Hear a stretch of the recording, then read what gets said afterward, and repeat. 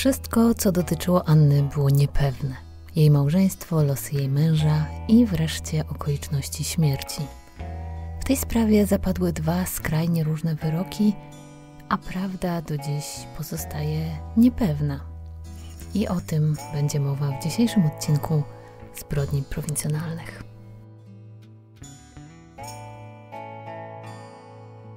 Witam Was z powrotem w zbrodniach prowincjonalnych. Skończyły się wakacje, wszystko wraca do swojego normalnego trybu i zbrodnie prowincjonalne też. Początek jesieni to taki czas, który mi się kojarzy z górami, górskimi wędrówkami, więc dziś będzie historia, która swój finał znalazła na Kasprowym Wierchu, choć jak to często bywa, wszystko zaczęło się znacznie wcześniej. Zanim jednak opowiem Wam tę historię, mam do Was wielką prośbę. Jestem w trakcie pracy nad projektem, tym razem nie podcastowym, ale jak najbardziej kryminalnym i utrzymanym w tematyce zbrodni prowincjonalnych. Oczywiście, jak zwykle bywa, nie chcę na razie publicznie zdradzać szczegółów. Jestem dopiero na początku tej drogi, więc jeszcze wiele się może wydarzyć. Natomiast chciałabym, e, żeby znalazło się w tym projekcie też miejsce na Wasze historie. Konkretnie tych z Was, którzy mieszkają na wsi lub pochodzą ze wsi, nadal w swoich rodzinnych stronach bywają i czują się z nimi jakoś związani. Chciałabym usłyszeć od Was o sprawach, które wydarzyły się w Waszej okolicy i usłyszeć o nich w takiej formie, w jakiej się o nich mówi w okolicy. To znaczy nie o tym, co jest w artykułach, e, na jakichś tam portalach czy w aktach sprawy. E, do tego mogę sobie dotrzeć sama, tylko właśnie o tym, jak lokalna społeczność pamięta te wydarzenia, w jaki sposób o nich mówi Także jeśli macie takie historie z waszej małej miejscowości, z waszej małej ojczyzny i bylibyście gotowi spotkać się ze mną albo dzwonić, albo w jakiejś innej formie przeprowadzić taką rozmowę e, i powiedzieć o waszych e, doświadczeniach, o waszych odczuciach, być może o odczuciach też innych osób z waszej społeczności, to zapraszam. Napiszcie na kryminozar.gmail.com Adres e-mail jest w opisie tego odcinka, albo odezwijcie się do mnie na Instagramie Zbrodni Prowincjonalnych w bezpośredniej wiadomości. Będę bardzo wdzięczna, no i mam nadzieję, że coś fajnego i wartościowego z tego powstanie. A tymczasem przejdźmy do historii, którą przygotowałam dla Was w tym odcinku, do historii Anny z Wiśniowej, która wydarzyła się ponad pół wieku temu, w latach 60. Zastanawiam się, od czego zacząć tę historię od białej torebki znalezionej na zboczu przez pracowników zajmujących się obsługą kolejki na Kasprowym, od ratowników Topru, którzy wyruszyli w stronę obserwatorium na Kasprowym Wierchu, gdzie jeden z pracowników kilka dni wcześniej widział parę turystów, a może od wesela, które się nie odbyło. Każdy z tych momentów był w tej historii istotny. Ale zacznijmy od momentu, w którym po raz pierwszy cała Polska mogła dowiedzieć się o istnieniu Anny, a właściwie o tym, że to istnienie zostało gwałtownie przerwane, czyli od notatki, która pojawiła się w gazecie i brzmiała tak. Znowu śmiertelny wypadek w Tatrach. Zakopane. Na Kasprowym Wierchu, w źlebie poniżej tak zwanego palca, znaleziono zwłoki młodej kobiety. Śmierć poniosła Anna Tomera, lat 27, z Wiśniowej, powiat Myślenice. A Tomera z nieustalonych na razie przyczyn spadła w przepaść o głębokości stu kilkudziesięciu metrów, ponosząc śmierć na miejscu. Prowadzi się śledztwo w celu ustalenia przyczyn nowej tragedii tatrzańskiej. Zawiadamiał Dziennik Polski 24 lipca 1960 roku. Notatkę można łatwo przeoczyć w morzu informacji o delegacjach ZSRR, wymianach not pomiędzy Polską a NRD czy przyjeździe cyrku radzieckiego do Polski. Ale równie lakoniczną notatkę Dziennik Polski poświęcił tego dnia procesowi zbrodniarza wojennego Adolfa Eichmana, schwytanego w Argentynie przez Mossad i sądzonego w Jerozolimie. W pierwszej chwili potraktowano znalezienie zwłok w Tatrach w okresie wakacyjnym jako kolejny wypadek, jakich niestety nie brakuje i na takie komunikaty już wszyscy się trochę uodpornili. Niestety te wypadki w górach są takim nieodłącznym elementem każdych ferii i wakacji w Polsce – ale oczywiście, gdyby ten był tylko jednym z nich, to nie byłoby tego odcinka. Lato 1960 roku było zimne i mokre. W całej Polsce dochodziło do podtopień, ucierpiało wiele gospodarstw rolnych i nie tylko rolnych. Z powodu deszczu rolnicy w wielu miejscach w Polsce musieli przerwać żniwa, trzeba było ewakuować mieszkańców wielu miejscowości. Gazety pełne były opisów akcji ratunkowych, wezwań do pomocy powodzianom, informacji o niepokojącym stanie wody w rzekach, a także notatek wylewnie dziękujących milicji obywatelskiej za pomoc poszkodowanym.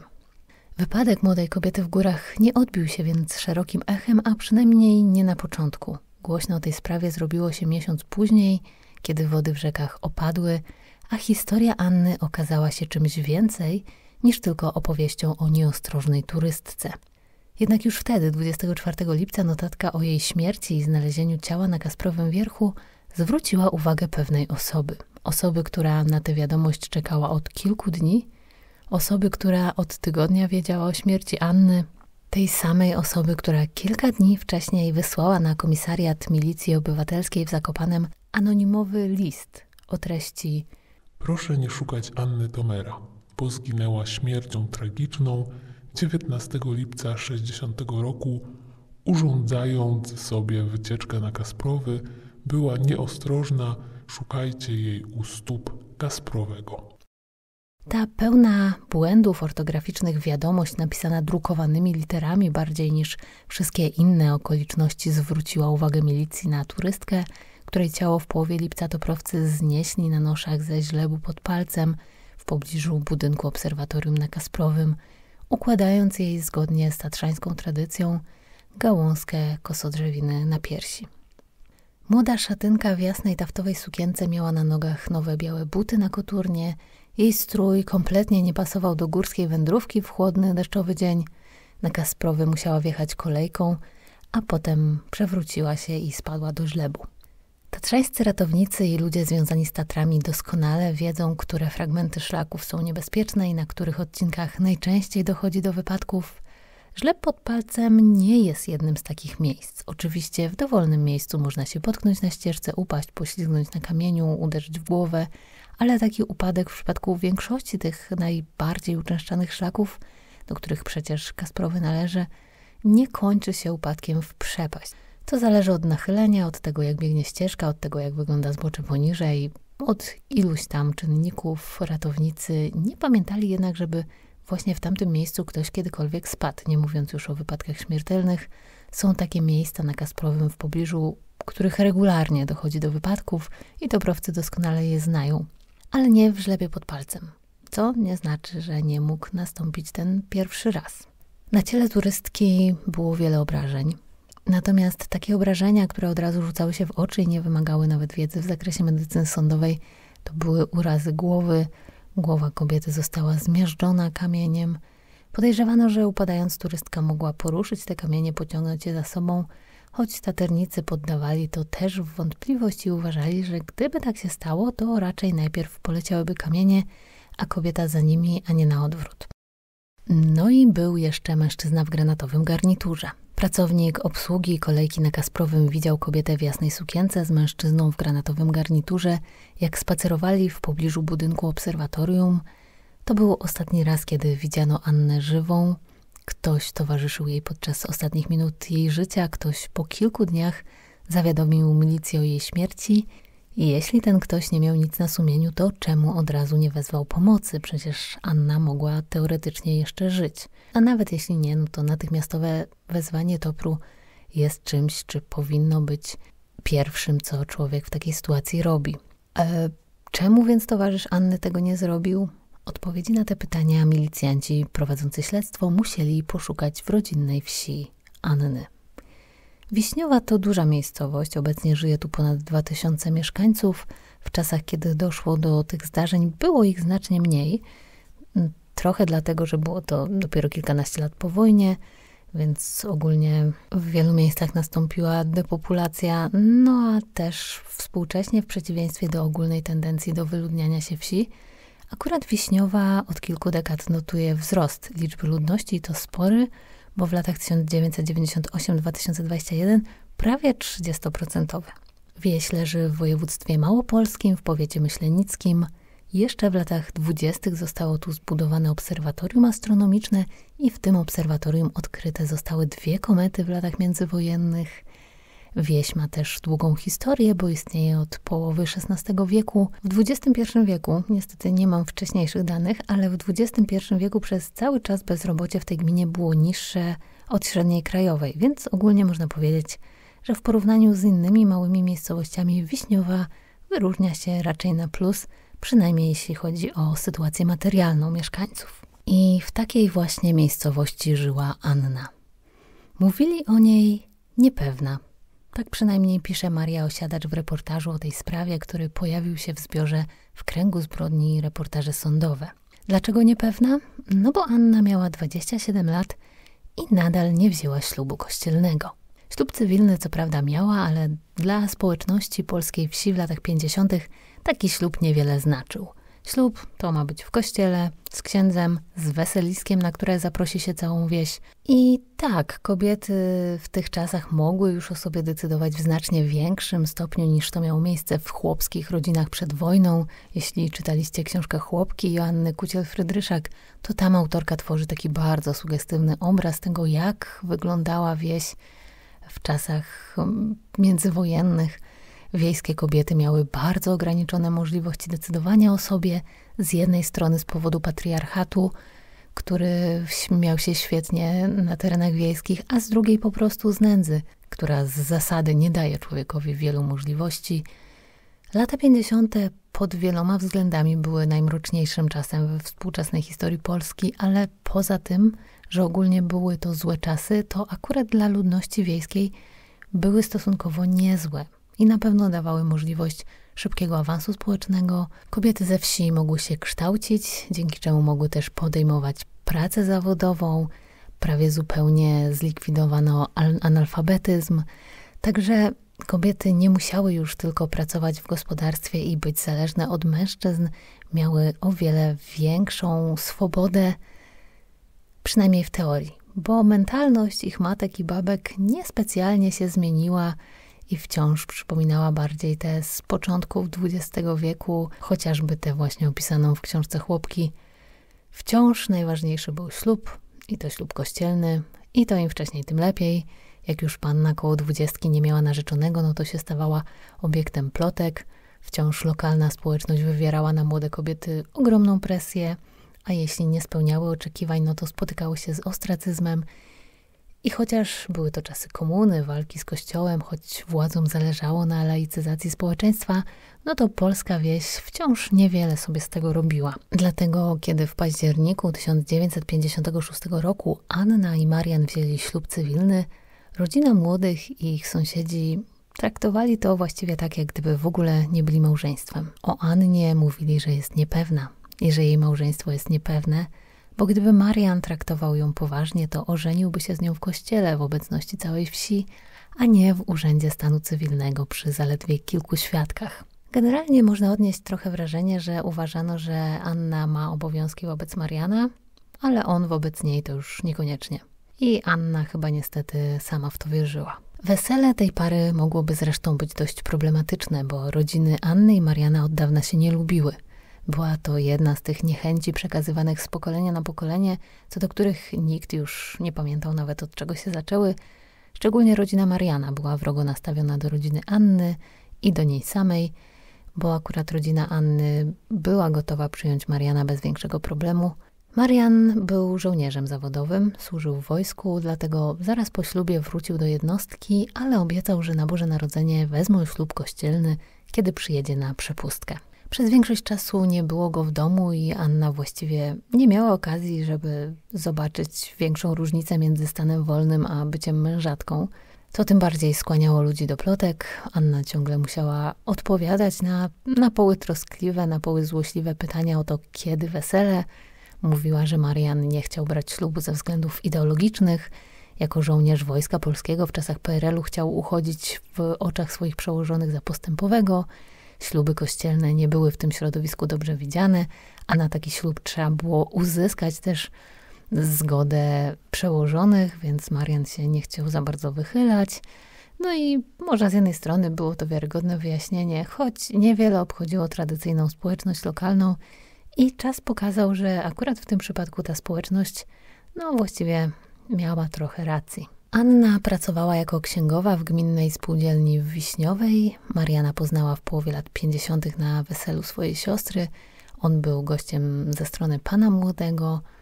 Tak naprawdę to oni się wtedy nie poznali, tylko jakoś tak zeszli ze sobą, bo znali się tak z widzenia to już właściwie od, od dziecka, bo dorastali w tej samej okolicy, więc gdzieś tam się kojarzyli, ale na tym weselu po raz pierwszy zwrócili na siebie uwagę tak jak mężczyzna na kobietę i kobieta na mężczyznę. Polubili się, chodzili ze sobą przez jakiś czas, choć z uwagi na zajęcie Mariana, to ich znajomość rozwijała się głównie na odległość, czyli w tamtych czasach listownie. Ze związkami na odległość jest ten problem, że bardzo łatwo można w nich stracić poczucie tego, co naprawdę wiemy o drugiej osobie, a co sobie o niej wyobrażamy. Albo co ta osoba chce, żebyśmy o niej myśleli, versus to, jaka naprawdę jest. Krótkie spotkania poprzedzone wieloma tygodniami wyobrażania sobie tych spotkań, później rozczarowania, bo ta prawdziwa osoba zwykle nie zachowuje się tak romantycznie, nie mówi takich wyszukanych rzeczy i ogólnie to, co ostatecznie się przeżywa, jakoś zazwyczaj jest mniej porywające niż nasze wyobrażenia o tym. Kiedy wreszcie jest okazja, żeby spędzić wspólnie więcej czasu, może się okazać, że tak naprawdę dwie osoby niczego o sobie nie wiedzą i kompletnie do siebie nie pasują. No i coś takiego prawdopodobnie zaszło w tym przypadku, tyle że Anna nie była gotowa odpuścić. Wręcz przeciwnie, uważała, że Marian musi być tym jedynym. Zaczynały się już jakieś plotki. No i tak pewnego październikowego popołudnia wzięli ślub w Urzędzie Stanu Cywilnego w prawie pustej sali. Nie zjawił się na ślubie nikt z rodziny pana młodego. Jego wuj, nie, jeden z niewielu członków rodziny Mariana, którzy pozostali w Polsce, był księdzem, no więc na ślub cywilny nie wypadało mu przyjść. Taki ślub był niezgodny z jego przekonaniami. Z kolei po wojnie matka i część najbliższych krewnych Mariana została we Francji. W latach 50. posiadanie krewnych na zachodzie to też była kwestia problematyczna, szczególnie w służbach mundurowych. Każdy, kto utrzymywał kontakty z kimś przebywającym na zachodzie, był automatycznie podejrzewane o szpiegostwo, no a podejrzenie o szpiegostwo było chyba w PRL-u najgorszym, co się mogło człowiekowi przytrafić. Jeśli ten ktoś służył w wojsku, no to już w ogóle mógł stanowić zagrożenie, no bo potencjalnie mógł mieć dostęp do jakichś informacji związanych z bezpieczeństwem państwa i te informacje przekazywać na zachód. Dlatego żołnierze przyjmowani na służbę musieli wypełniać ankiety, w których deklarowali, czy mają krewnych na zachodzie i czy utrzymują z nimi kontakt. Oczywiście przyznanie się oficjalnie do czegoś takiego mogło też oznaczać kłopoty, więc wiele osób się po prostu nie przyznawało. No i Marian był jedną właśnie z tych osób. Zataił w swojej ankiecie prawdę o swoich kontaktach z rodziną we Francji, no i to się później na nim zemściło. Dla bliskich Anny było jasne, że kobieta nie kochała Mariana. Przyznała to swojej matce na krótko przed ślubem. Mówiła, że nie wie, czy będą szczęśliwi, że czuje, że to nie jest to.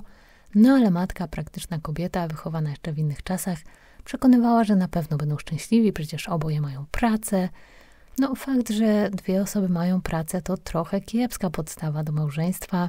Znaczy, jest to oczywiście dobry punkt wyjścia do tego, żeby rozpocząć wspólne życie, no ale jeśli to ma być jedyny powód do poślubienia kogoś, no to trochę gorzej. No ale tutaj chyba zadziałało trochę takie tradycyjne podejście, że lepiej, żeby córka wyszła za kogokolwiek, niż żeby została starą panną. No i ta presja otoczenia prawdopodobnie w dużej mierze była powodem, dla którego Anna zdecydowała się ostatecznie na ten ślub. Choć na pewno nie miał on wiele wspólnego z tym, co, o czym sobie kiedyś tam marzyła. Zgoła odmienne podejście do tego związku miała rodzina Mariana, ta mieszkająca we Francji, jego matka sprzeciwiała się temu związkowi od samego początku, nazywała rodzinę Anny dziadostwem, nie chciała, żeby jej syn się wiązał z taką rodziną. O Annie wyrażała się bardzo niegrzecznie. Ogólnie para nie mogła liczyć na przychylność rodziny Mariana, no i to też przyczyniło się w jakimś stopniu do tego, że te uczucia bardzo szybko zaczęły stygnąć. Ale na tym etapie Anna, której uczucia też nie były jakieś strasznie gorące, Musiała już chyba mieć takie poczucie, że jeśli tego ślubu nie będzie, no to ona się stanie pośmiewiskiem. No i w którymś momencie, kiedy już Marian zaczął się wycofywać z tej obietnicy małżeństwa, Anna zagroziła mu, że jeśli się z nią nie ożeni, to ona na niego doniesie. Doniesie jego przełożonym o tym, że skłamał w swojej ankiecie, że utrzymuje kontakty z rodziną we Francji. No i ostatecznie para wzięła ten ślub, choć rodzina Mariana twierdziła, że i tak ślub, ślub cywilny do niczego nie zobowiązuje, nie zobowiązuje do wierności małżeńskiej. Tak naprawdę w oczach krewnych Marian nadal był kawalerem i jego rodzina bardzo szybko zaczęła czynić starania, by młoda, młodą parę rozdzielić. Szczególnie, że dopóki nie mieli dziecka, to rozwód cywilny nie powinien stanowić większego problemu. Marian bał się wystąpić o rozwód, bo Anna miała na niego haka, z drugiej strony bał się przeciwstawić rodzinie, bo bał się, że zostanie wydziedziczony więc y, robił to, co chyba wychodziło mu najlepiej, czyli mówił każdemu to, co chciał usłyszeć, a robił i tak to, co akurat chciał i to, co było dla niego najwygodniejsze. Zaczął więc kombinować, jakby się tutaj z tego wszystkiego wymiksować, no i jego pomysły były, trzeba przyznać, odważne. Nie minęło jeszcze nawet pół roku od ślubu Anny i Mariana. Był luty 1957 roku, kiedy Anna dostała list – pisał Heniek, kolega Mariana z wojska i zawiadamiał Annę, że jej mąż zginął podczas szukania min w kanałach gdzieś na południu Polski, a może nie Polski, bo misja była super tajna. Marian nie mógł zdradzić swojej żonie, dokąd wyjechał. Powiedział tylko, że na południe. List e, zawierał szczegółowy opis tego, jak Marian wyleciał w powietrze, jak porwała go woda, a jego ciała nigdy nie odnaleziono. Ów kolega, Heniek, radził Annie, żeby nie robiła szumu wokół tego zdarzenia, bo mogłaby mieć z tego powodu problemy. Czasy były takie, że można było mieć kłopoty z byle powodu, a jeśli już w grę wchodziły jakieś sprawy wagi państwowej, to tym bardziej. Więc takie groźby robiły na ludziach wrażenie, ale Annie i tak coś w tym nie pasowało.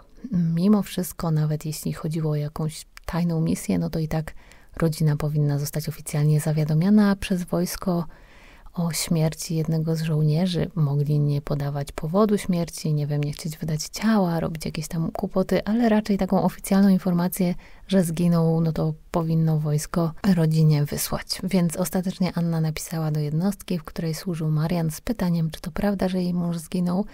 No i jak się pewnie domyślacie, nie była to prawda. Anna otrzymała w odpowiedzi list, że jej mąż żyje, jest cały i zdrowy i służy dalej w tej samej jednostce. Ale kiedy już napisała do Mariana list, wrócił z adnotacją, że adresat odmówił jego przyjęcia. Kilka miesięcy później Anna otrzymała jednak od Mariana list, no i tym razem znowu wieści były sensacyjne. Mąż zawiadamiał ją, że nie służy już wojsku, że musiał odejść ze służby, bo miał wypadek, stracił wzrok, przeszedł załamanie nerwowe, no i prosił Annę, żeby o nim zapomniała i ułożyła sobie życie. No te wymyślone losy Mariana spokojnie mogłyby posłużyć za materiał do scenariusza telenoweli, bo jest fałszywa śmierć, jest utrata wzroku, także klasyka. Anny jednak nawet ta informacja nie zniechęciła. Pojechała do Szczecina, bo tam Marian przebywał, także musiała przejechać pociągami całą Polskę. Chciała być przy Marianie na dobre i na złe, tak jak mu obiecywała. Co z tego, że tylko w Urzędzie Stanu Cywilnego, a nie w kościele. Ale oczywiście i tym razem okazało się, że to była jedna wielka ściema. Marian był zdrowy, nie chciał nawet się spotkać z Anną. Anna chciała przynajmniej z nim porozmawiać, usłyszeć od niego wprost, że się z nią chce rozwieść, coś ustalić, bo w tym momencie była zawieszona, nie była ani panną, ani mężatką i czuła się z tym bardzo źle. A Marian zamiast wprost jej powiedzieć, żeby się rozstali, cały czas coś kręcił. Z drugiej strony chyba też Anna przez cały czas próbowała jakoś go przy sobie zatrzymać, no i miała na niego cały czas tego haka, no i przez to cały czas nie podejmowali jakichś takich ostatecznych decyzji, tylko wszystko to było takie zawieszone. Marian tymczasem nadal coś kombinował swoim zwyczajem. Poprosił Annę, żeby załatwiła im fałszywe zaświadczenie o rozwodzie, żeby mógł je posłać matce do Francji, bo w przeciwnym razie matka groziła, że nie przepisze na niego ziemi, na którą liczył. Nazywali ten majątek morelówką. Anna nie zgodziła się, nie załatwiła takiego zaświadczenia, no a potem znowu było wiele tygodni bez żadnego znaku życia, trochę listów, które nie mówią ani o zerwaniu, ani o wspólnym życiu. Anna zaczęła nawet spotykać się z kimś innym, ale ostatecznie nic z tego nie wyszło. Tymczasem Marian prowadził hulaszczy tryb życia i w 1958 roku ostatecznie musiał się rozstać z wojskiem, Nigdy nie był wybitnym oficerem, jak go przełożeni niespecjalnie go cenili. No a do tego w końcu wdał się w jakąś bójkę na zabawie i na pół roku trafił do więzienia, tym samym kończąc swoją wojskową karierę. Po wyjściu na wolność w 1959 roku zatrudnił się w Krakowie, w Nowej Hucie. Tam też zamieszkał. Z Anną już prawie zupełnie nie miał kontaktu. Od czasu do czasu wymieniali listy, które dotyczyły już głównie kwestii rozwodu, ale jeszcze wiosną 1960 roku Marian namawiał Annę na kupno mieszkania w Bytomiu i prosił, żeby zdobyła na nie trochę pieniędzy. W tym czasie był już zaręczony z inną kobietą, o której istnieniu Anna nie miała pojęcia. No więc wygląda to tak, że Marian chyba chciał mieć Annę w odwodzie na wypadek, gdyby potrzebował pieniędzy albo jakiejś innej pomocy i dlatego cały czas nie chciał ich małżeństwa kończyć. I tak minęły prawie cztery lata tego nieudanego małżeństwa Anny i Mariana. Trochę się przez ten czas w Polsce zmieniło. Skończyły się czasy stalinizmu, kiedy nawet za jakieś drobne albo wręcz zmyślone przewinienia można było dostać nawet karę śmierci. Oczywiście nadal nie było szału, ale już ten taki paniczny strach przed władzami trochę osłabł. Ludzie też nauczyli się pewne rzeczy obchodzić. Także też siła tego szantażu, którym wcześniej Anna zmusiła Mariana do małżeństwa, z upływem czasu osłabła. Szczególnie, że Marian już nie służył w wojsku i chyba też wiedział, że skoro Anna do tej pory na niego nie doniosła, to już tego nie zrobi. Dodatkowo osłabiła jego obawy przypuszczalnie nowa miłość. Marian gdzieś w międzyczasie poznał bowiem Helenę, która nie wiedziała nic o tym, że nadal jest żonaty Powiedział jej, że jest rozwiedziony i zaczął żyć tak, jak gdyby faktycznie rozwiedziony był.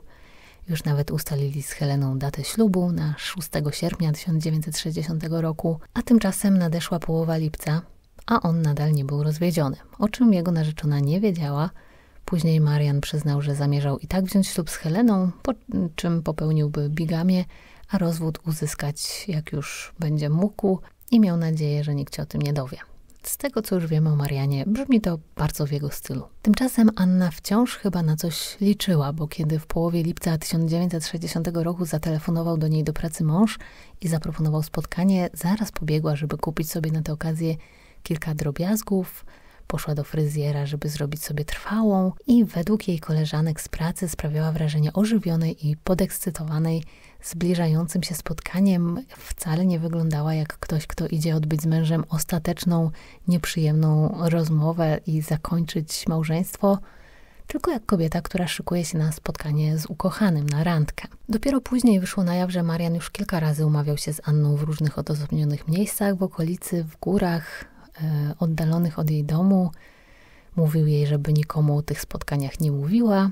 Czemu się na nie zgadzała? No sądząc po tym, jak zareagowała na wiadomość od męża, mogła widzieć w nich szansę na naprawę ich stosunków i na to, że wreszcie będą razem jak mąż i żona. Może sądziła, że Marian chce się spotkać w ustronnym miejscu, gdzie będą mogli pozwolić sobie na chwilę intymności. Taki czy w inny sposób Marian musiał ją do tego przekonać. Anna zresztą na tym etapie wciąż nie wiedziała o tym, że on się szykuje do ślubu. O tym, że jedzie do Zakopanego też nikomu nie powiedziała. W sobotę w pracy powiedziała tylko koleżankom o planowanym na niedzielę wyjeździe, ale nie podawała żadnych szczegółów, z kim i dokąd jedzie, chociaż koleżanki domyśliły się, że ma zamiar spotkać się z mężem. Anna pracowała w biurze w swojej rodzinnej wsi, więc oczywiście wszyscy tam byli doskonale zorientowani w jej sytuacji osobistej. W połowie sierpnia 1960 roku pojawiły się w gazetach apele, e, aby na milicję zgłosili się wszyscy, którzy 17 lipca widzieli Annę i Mariana w Zakopanem i okolicach. W gazetach wydrukowano ich zdjęcia.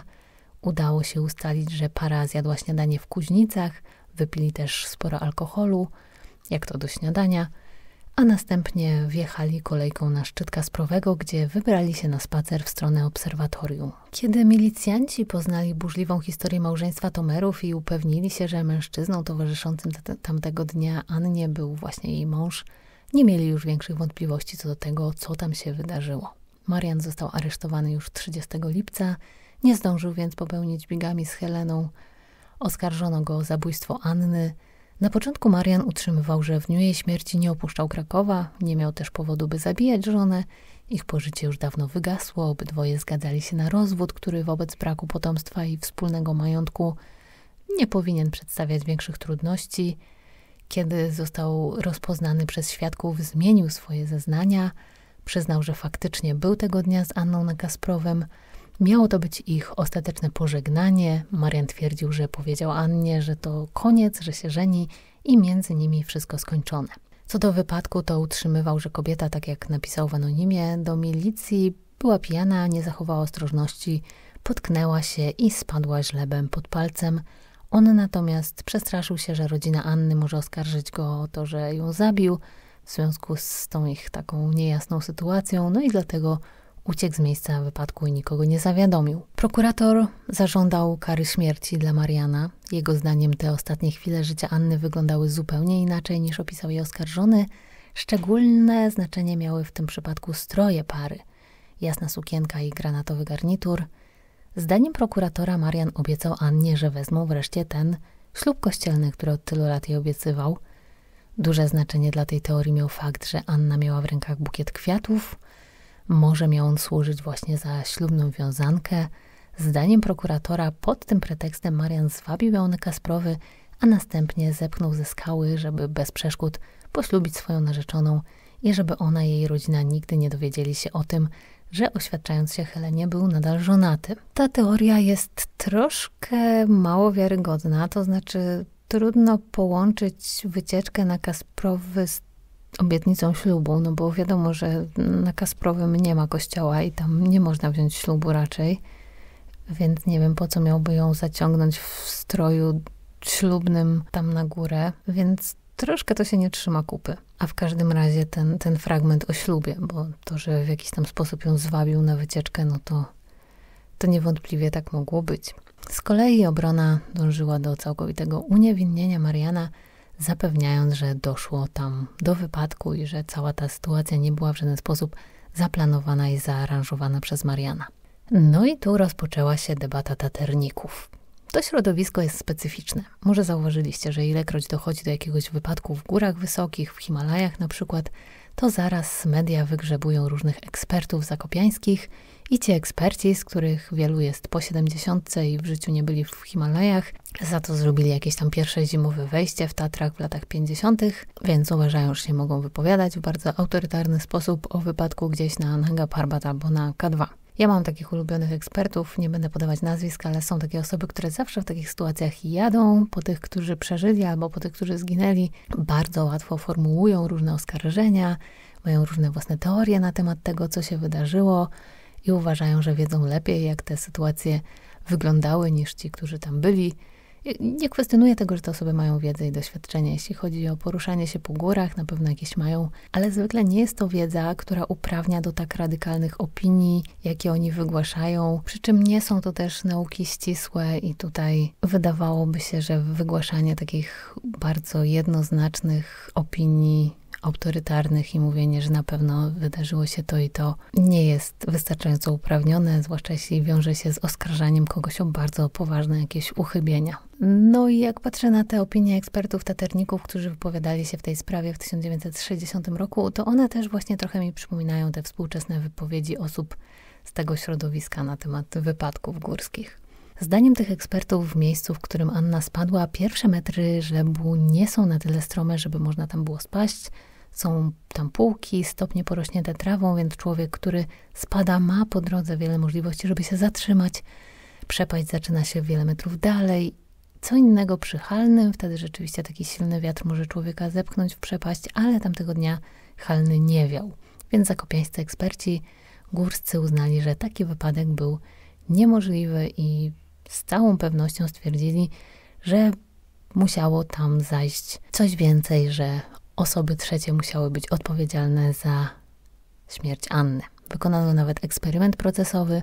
W miejscu, w którym spadła Anna, zrzucano worek, który ważył tyle, ile kobieta.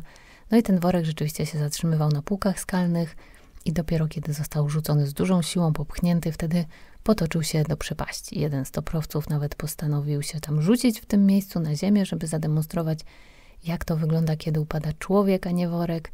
No i też zatrzymał się w taki sposób, jaki wcześniej opisywał. Co prawda, kiedy przeprowadzano ten eksperyment, było sucho, a kiedy zginęła Anna, padał deszcz, co akurat w tym przypadku może robić sporą różnicę. No ale jakoś to zignorowano na początku. Taternicy też jakoś twierdzili, że to nie robi różnicy. Oprócz opinii taterników, sąd wysłuchał też biegłego psychiatry, który określił Mariana jako osobnika psychopatycznego, ale zdolnego do rozeznania i oceny swoich czynów. I na tej podstawie oraz na podstawie korespondencji pomiędzy małżonkami, która dowodziła problematycznej relacji, Sąd Wojewódzki w Krakowie uznał Mariana winnym zabójstwa żony. Przyjęto, że zepchnął ją w przepaść na Kasprowym Wierchu, powodując liczne obrażenia, które w tym wyroku zostały szczegółowo opisane. Ja wam ich oszczędzę. Ogólnie są to jednak wszystko obrażenia powstałe podczas upadku. Marian został skazany na karę dożywotniego więzienia i utratę praw publicznych i obywatelskich praw honorowych na zawsze. Obrońcy Mariana wnieśli jednak o rewizję tego wyroku. Zarzucali w niej błędną ocenę okoliczności e, wypadku, nieścisłości podczas eksperymentu procesowego oraz fakt, że proces był w całości poszlakowy, ale z tych poszlak, które zostały przedstawione, wcale nie wynikało jednoznacznie, że Marian był mordercą swojej żony. Przede wszystkim z uwagi na motyw, którego, jak twierdzili, nie było, bo rozwód i tak był już w toku i, i tak w najbliższym czasie by nastąpił.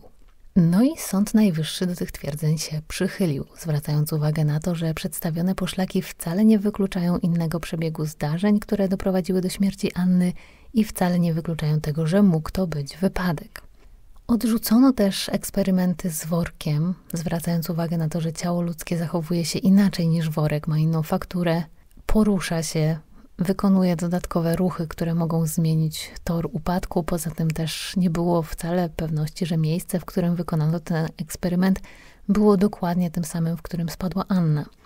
Marian wskazał to miejsce, ale też on nie znał aż tak dobrze tego terenu, więc wcale nie było pewności, czy to się nie wydarzyło kilka metrów bliżej, kilka metrów dalej, a to mogła być duża różnica. No i plus jeszcze to, że padał deszcz, czyli co też całkowicie mogło zmienić warunki. I to, że worek na suchej drodze nie spadł, nie znaczy, że człowiek, który się poślizgnął na mokrych kamieniach, nie mógł w ten sposób spaść. Anna miała nieodpowiednie obuwie, nieodpowiednie ubranie, padał deszcz, było ślisko, Zdaniem Sądu Najwyższego nie da się z całą pewnością wykluczyć wypadku. Kolejnym argumentem było to, że, cytuję, nikt o zdrowych zmysłach nie popełnia zbrodni, aby zaoszczędzić sobie kosztów postępowania rozwodowego lub żeby przyspieszyć zawarcie małżeństwa z inną kobietą. Akurat z tym argumentem to bym polemizowała. Morderców trudno jest nazwać ludźmi o zdrowych zmysłach, to po pierwsze, a akurat zmysły Mariana też do najzdrowszych chyba nie należały. On już udowodnił, że może się zachowywać bardzo irracjonalnie, bo można też zapytać, kto o zdrowych zmysłach wysyła swojej żonie listy, w których twierdzi, że zginął w wybuchu miny, a jego ciała nigdy nie odnaleziono. No, Marian to zrobił. Więc on miał akurat tendencję do takich zachowań, które dla większości ludzi by były nie do pomyślenia. I był też tchórzem, i był człowiekiem, który w pewnych sytuacjach nie potrafił się odnaleźć i stanąć na wysokości zadania. Więc akurat ta motywacja, żeby ukryć przed swoją przyszłą, niedoszłą żoną to, że ją oszukał, i pozbyć się małżonki i móc wejść w nowy związek zgodnie z obietnicą daną narzeczonej, to wcale nie byłoby w jego przypadku takie niewiarygodne, moim zdaniem. Ostatecznie tamten wyrok został więc cofnięty. Kwalifikacje czynu zmieniono. Mariana uznano jedynie winnym nieudzielenia pomocy. Wzięto pod uwagę to, że nie zawiadomił służb o wypadku, do którego doszło na Kasprowym. Anna zginęła na miejscu, co do tego nie było wątpliwości, no ale Marian nie mógł tego stwierdzić z całą pewnością i jego obowiązkiem było w tej sytuacji zawiadomienie Topru, ale tego nie zrobił i ostatecznie uznano go winnym tylko właśnie tego czynu, za co otrzymał karę czterech lat więzienia. No i ta sprawa i te dwa wyroki mnie trochę przerażają, w takim sensie, że kiedy słucha się argumentacji, która pojawiła się przy pierwszym procesie, przy pierwszym wyroku, to brzmi ona wiarygodnie. Jeśli skupimy się na tych faktach, na które zwróciła uwagę prokuratura, to rzeczywiście wszystko wskazywało na to, że intencje Mariana nie były czyste. Oszukiwał swoją nową partnerkę, że nie jest żonaty, zwodził Annę, już wcześniej podejmował jakieś przedziwne próby zakończenia ich małżeństwa. Zamiast po prostu się rozwieść, próbował upozorować swoją śmierć, swoje kalectwo. No kto tak robi? Do tego próbował się z nią spotykać jakoś tak cichaczem, żeby nikt o tym nie wiedział. No, a oczywiście najbardziej obciążające było to jego zachowanie po tym, jak Anna spadła, niezawiadomienie ratowników, anonim wysłany do milicji. To też, że później natychmiast właściwie po śmierci żony zgłosił się po odpis aktu zgonu, żeby móc wejść w nowy związek, ale już z kolei na pogrzebie się nie pojawił. To sprawia, że w oczach większości z nas Marian wydaje się winny jak sam grzech. I przypominam, że prokurator wnioskował dla niego o karę śmierci, Ostatecznie kary tej nie dostał, ale gdyby tak było, no to już tego by się nie dało odwrócić. Tymczasem argumenty Sądu Najwyższego i jego biegłych pokazały zupełnie inną historię i najzabawniejsze, a raczej najbardziej jeżące włosy na głowie jest to, że ta historia wydaje się właściwie równie wiarygodna. Marian, o którym już wiemy, że był człowiekiem nieodpowiedzialnym, że brakowało mu odwagi cywilnej, jest świadkiem śmiertelnego wypadku swojej żony.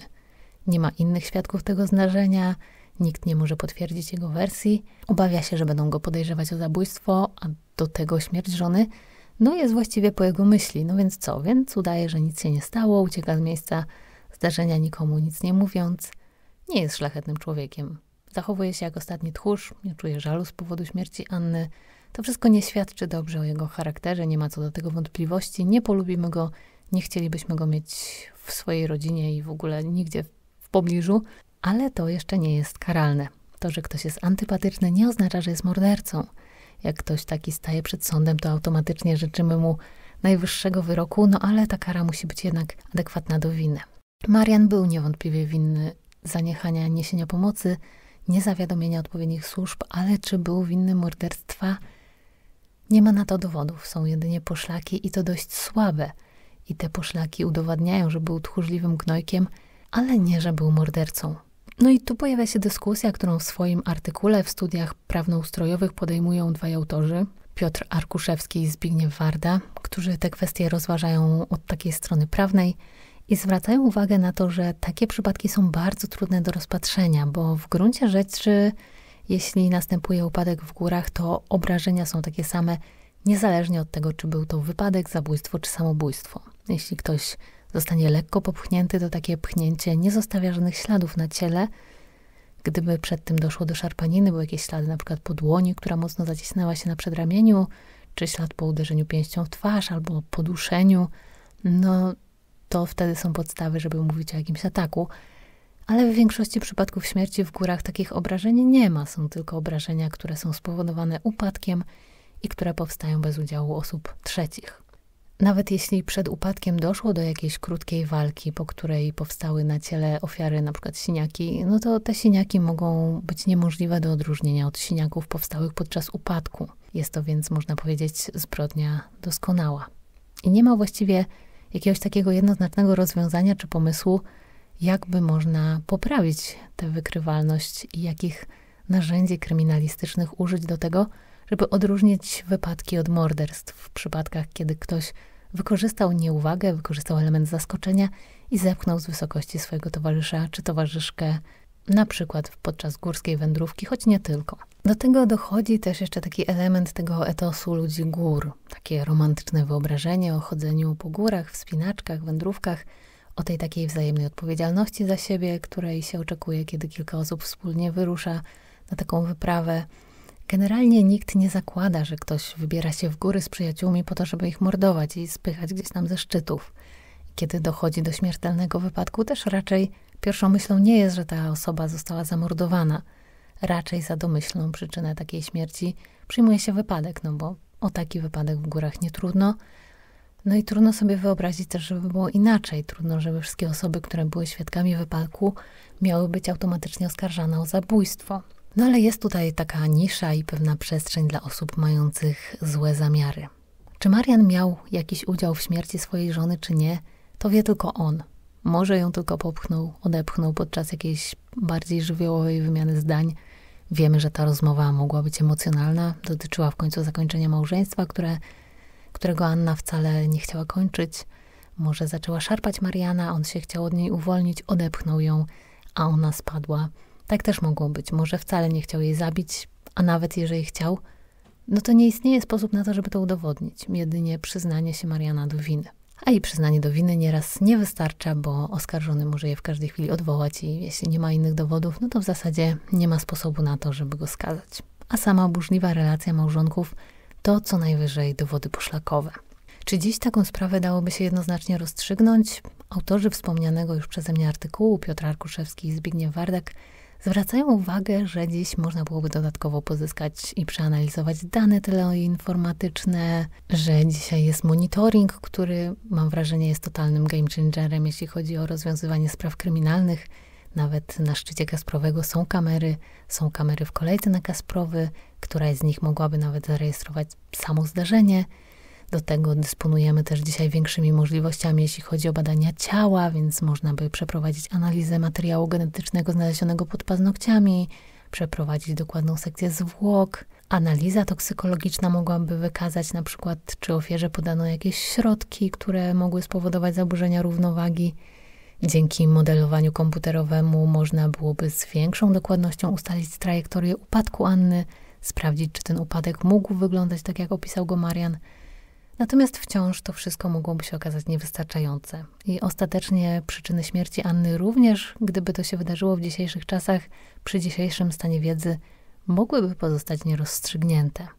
W sensie, co było bezpośrednią przyczyną śmierci, no to wiadomo, ale czy przyczyniły się do tego osoby trzecie, czy nie, no to nie wiemy. I gdyby taki wypadek wydarzył się dzisiaj, też moglibyśmy tego nie wiedzieć. No i jest to na pewno myśl niepokojąca i cytując wspomnianych już autorów, intencjonalne zepchnięcie z wysokości jest jedną z najtrudniejszych do udowodnienia zbrodni, zarówno z punktu widzenia medycyny sądowej, jak i organów ścigania. Oprócz tych dywagacji prawnych i kryminalistycznych, jest też w tej sprawie taki czynnik ludzki, który wydaje mi się bardzo poruszający. Osoba Anny jest w tym wszystkim szczególnie tragiczna. Kobieta, która poślubiła mężczyznę, którego chyba nawet nie kochała, ale miała poczucie, że skoro już zaczęła się z nim spotykać, no to musi za niego wyjść, bo tak wypada, bo tego oczekuje jej rodzina, bo tego oczekuje się od młodej kobiety w ogóle w społeczeństwie. Kobieta, która doznała od swojego męża całej listy upokorzeń, począwszy od odmowy wzięcia ślubu kościelnego, która stała się dla niej jakimś takim piętnem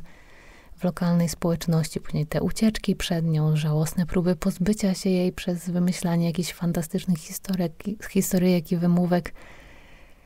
I ta kobieta, która pisała listy, jeździła, prosiła o to, żeby mężczyzna, którego poślubiła, po prostu potraktował ją poważnie. No i po co? Po co ona to znosiła? Po co znosiła wszystkie te upokorzenia? Dlatego, że jakieś wiejskie plotkary coś tam o niej mówiły.